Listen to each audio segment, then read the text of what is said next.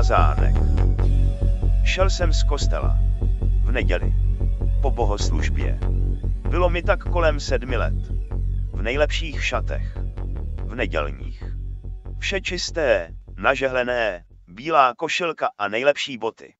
Ty boty jsem v podstatě nosil jenom do kostela. Nikam jinam. Byly to prostě sváteční boty. Boty jenom pro zvláštní příležitost. Odloučil jsem se od rodiny a jdu si takhle přes venkovský hřbitov směrem k domovu, ostatně tak jako každou neděli, když tu mi zastoupí cestu parta černých výrostků. Když viděli, jak jsem čistě oblečený, schlukli se kolem mne. Jejich chudé oblečení a vyžilé výrazy dávali tušit, že mezi mnou a jimi by měl být nebetyčný rozdíl. Opak byl však pravdou. Já pocházel z chudé rodiny. Neměli jsme toho mnoho a byli jsme velmi chudí, ale naše babička dbala, abychom na nedělní dopolední bohoslužbu přišli vždy v nejlepších šatech, tak abychom vyjádřili úctu Bohu.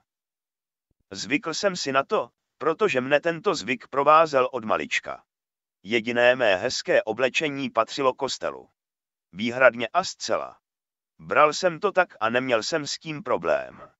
Ba naopak. Babiččina vize uctívání Boha skrze modlitby, návštěvy kostela, patřičně slušného oblékání se stala, i v tak brzkém věku sedmi let, také mou vizí. Považoval jsem to za patřičné a neměl jsem s tím problém. Ba naopak. Vzal jsem to za své. Mimochodem i proto, že jsem svoji hodnou babičku miloval.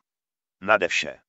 Její duchovní a morální hodnoty však očividně neuznávala skupina černých mladíků, bylo jich šest a mohlo jim být tak mezi 15 až 17 lety, která mne obestoupila s posměšně výhružnými výrazy ve tvářích. Maminčin mazánek, co, zahlaholil jeden z nich a výhružně přistoupil ke mně. Byl vyšší, větší a od pohledu silnější. Mazánek. Co tím myslíš, Nedal jsem se zastrašit. Ať ve mně byla malá dušička.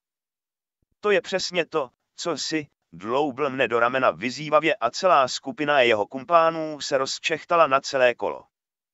Co tím myslíš? Opakoval jsem zmateně, ale krev by se ve mně, v tu chvíli, nedořezal.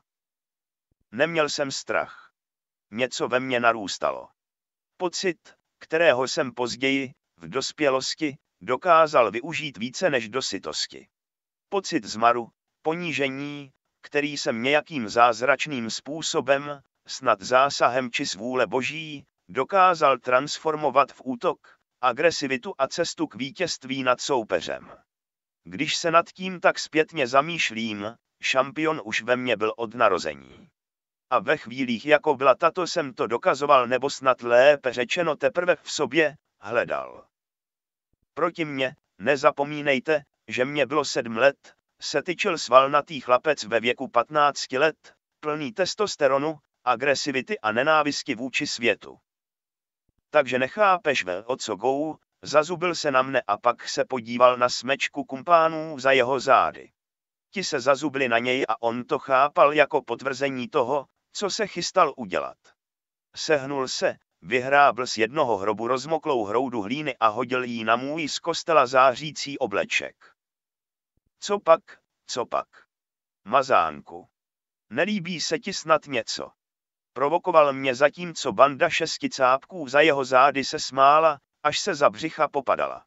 Nehnul jsem ani brvou. Hliněná hrouda z hrobu se rozstříkla o mé nedělní šaty a potřísnila je od mé hlavy až k patě.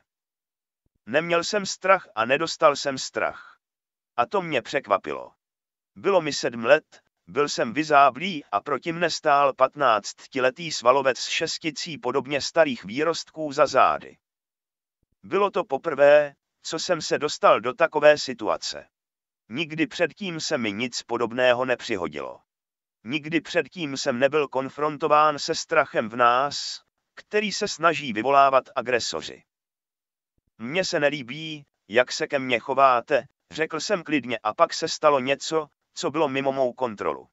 Než jsem si já sám stačil uvědomit, co dělám, a než ten týpek přede mnou vůbec stačil zareagovat, udeřil jsem tvrdě a přesně, svojí malou pěstí, na jeho bradu.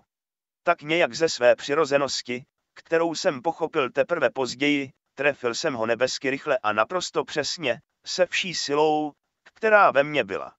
A já, když udeřím vší silou, ať už je mi sedm či 27 let, je to opravdu pecka, protože vychází ze srdce bojovníka. Tehdy jsem to nechápal.